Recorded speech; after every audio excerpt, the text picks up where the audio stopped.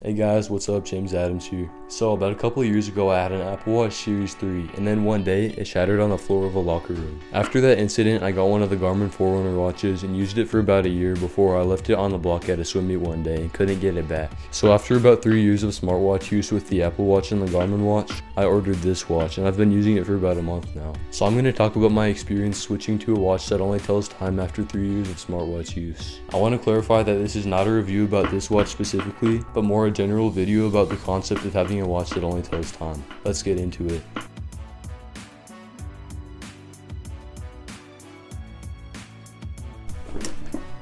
So, when I first lost my Garmin watch, I could no longer ping my phone anymore. You know how on most smartwatches you can play a sound from your phone when it's lost? Well, that ability was taken from me. Before I had got my first smartwatch, the Apple Watch, I had never had a problem with losing my phone. But little did I know it, but during the time when I had the Apple Watch and the Garmin watch, I was slowly becoming more and more dependent on them to find my phone. During my smartwatch years, I got into the habit of leaving my phone in random places and just using my Apple Watch or Garmin watch whenever I needed to locate it. But once I had lost my second smartwatch, the Garmin watch, I no longer had any tech on my wrist. But even though I didn't have any of that, I was still leaving my phone in random places without making a mental note of where it was. But since I didn't have a smartwatch anymore, I couldn't ping it. For the first few weeks after stopping wearing a smartwatch, I kept losing my phone and taking 5 minutes to find it each time. In fact, I still have this problem, but it's been starting to go away now that I've been using a watch that only tells time for a month. So you could say that switching to a dumb watch has improved my memory and wearing a smartwatch might actually be making you dumber.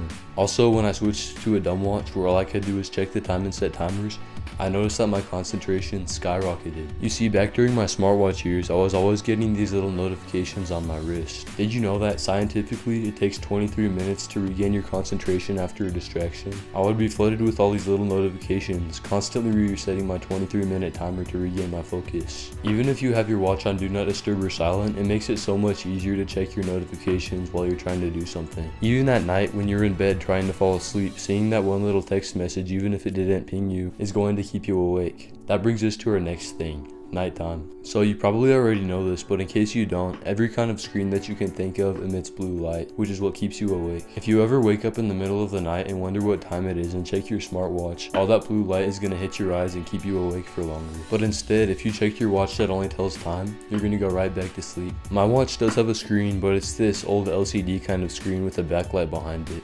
Super bad backlight by the way, but it has no blue light. Also, I never have to worry about charging my watch anymore. As far as I know, this Casio watch that I've been using has basically unlimited battery life, and if you ever get a real analog watch, all you have to do is wind it every now and then.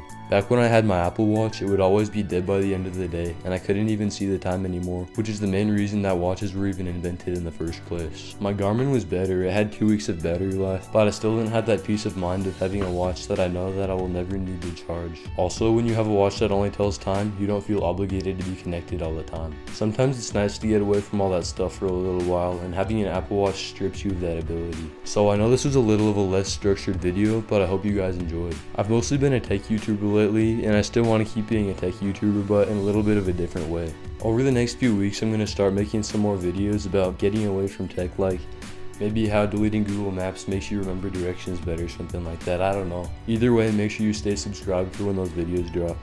That's all for today. See you in the next one. Peace.